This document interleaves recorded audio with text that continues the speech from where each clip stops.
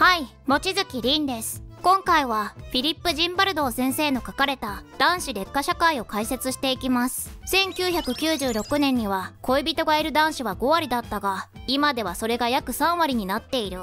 しかも20代の男子で交際経験が一度もない人は約4割もいるのだ。そしてこの本ではその原因がポルノやゲーム、親の離婚だと言っているんだ。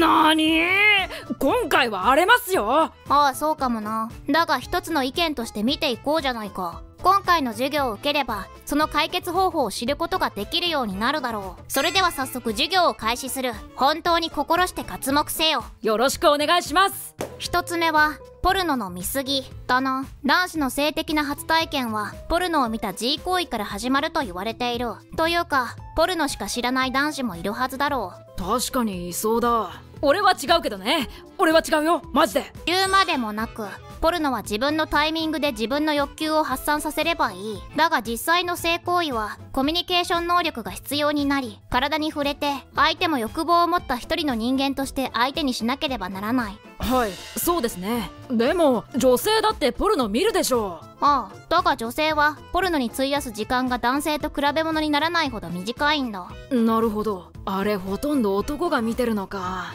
でもなんで男子はこんなにポルノにハマってしまうんでしょうか。うむそれは楽だからだ。楽？ああ人間は楽な方に流されやすい生き物だ。ほら実際の女性と性行為をしようと思ったらどうなる？えー、っとまずタイプの女性を見つけて勇気を持って女性に声をかけて連絡先を交換し身だしなみを整えてデートして食事を数回繰り返して勇気を持って女性を口説く。そして大概は失敗に終わる。それな！そして男子は実際の女性とコミュニケーションを諦めてポルノにどんどんハマっていくわけだ。すると現実の女性とどう接していいかわからなくなるんだ。次は男らしさの押し付けだなこれを説明する時が来たか。まず男って生きづらいんだよ。え？女も大変だけどな。女性は生まれた瞬間からミスコンが始まり男性は生まれた瞬間から結果を出そうレースが始まる。結果脱走レース？ああ平たく言うと年収地位肩書き就職した企業学歴。男はそういうもので一旗あげて一家の稼ぎ頭になる以外に社会的に受け入れられる道はないんだ。それなだから男の方が圧倒的に経営者や資産家が多い。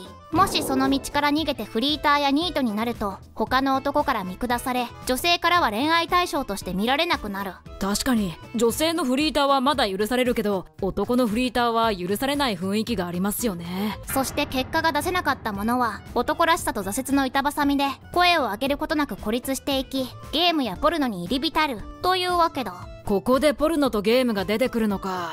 ああその世界なら自分が支配者になれるからな。男は辛いよ次はゲームにはまりすぎるだな。さて現実社会で負け続けても勝利の体験を味わえるものがある。それがゲームだ。僕もゲーム好きです。男子はみんなゲームが大好きだ。実際に男性の方が女性の3倍ゲームにはまりやすいことも分かっている。そしてゲームに比べるとスポーツ学校勉強はあまりに退屈でつまらないものに思えてくるほらスポーツで勝つためには練習をいっぱいやらなきゃいけないし勉強も結果が出るまで頑張るのめんどくさいからな。確かに。一番手っ取り早く勝利を味わえるのがゲームなわけだ。なるほどな。そしてゲームに熱中しすぎてコミュニケーション能力が磨かれなくなり女性にどう声をかけていいのかわからなくなるというわけだ。そうか。次は離婚率の高さだなみんなもよく知っている通り3分の1以上が離婚し結婚式での愛の誓いが今日も破られている。そうですね。僕の友達もこの前離婚しました。うむビル・ゲイツですら離婚してるしな。で離婚した後子供はどうなるかというと大体は母親に育てられることになる。シングルマザーだなはい。父親が親権を勝ち取れる可能性は約10%しかない。多くの父親たちが離婚した後に給料の大部分を渡す人生になる。子供に会うこともほとんどできないのにだ。ちょっとマジかよ。どうにかしてくれよ。もしそれを支払わないと人手なしと言われる。そういうわけで日本で一番自殺が多いのは離婚後の男たちなんだ。げえさてそんな父親を見た男の子はこう思う。もし離婚したら全ての重荷を背負わされるのは自分だ。でどうなるかというともう結婚に希望なんて抱かなくなるわけだ。なるほど。めちゃくちゃわかるなそれ次は女性の活躍だな。今は女性の社会進出が進んだことで女性の収入は飛躍的に伸びた。そうですね。僕より稼いでいる女性もたくさんいますよ。だが一つ問題があるとすると成功した女性は自分より無力で怠け者な夫など欲しくないということだ。うががそうなりますか。ああ。というか男性は男性で女性より収入や肩書きが劣っていると感じたくない。つまり女性は自分の地位や給料が高くなればなるほど結婚しづらくなるわけだ。うーん。わかる気がする。必要なくなるんでしょうね。ああ。実際に収入の高い女医さんは未婚率が高い。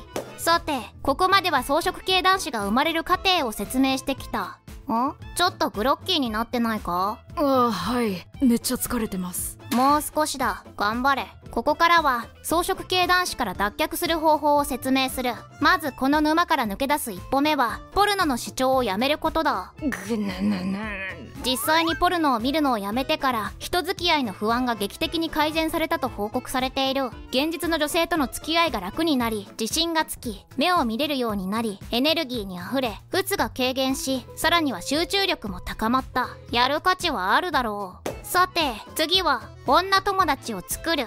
だな。ポルノをやめたらまずは若い女友達を一人作ることだ。女友達か。いないな。ああそしてあくまでこれは友情でありそれ以上でもそれ以下でもないとはっきり伝えることだな。そして女性とただの友達として付き合ってみろ。コミュニケーションの訓練だ。わかりました。これを続けていれば女性に対する幻想やネガティブなイメージから払拭されるだろう。ネガティブなイメージ？ああお前はポルノの見過ぎで目が悪くなっているんだ。ほらリアルの女性をディスる男がいるだろう。リアルの女性は毛穴があるとか性格が悪いとか肌のテクスチャーがどうとか。ああいますね。あんな感じでリアルの女性と接点がないと現実の女性にネガティブになりがちなんだ。つまりリアルの女性を敵視してしまっていることがある。まずはそれを直さなければならない。だから女友達を作るんだ。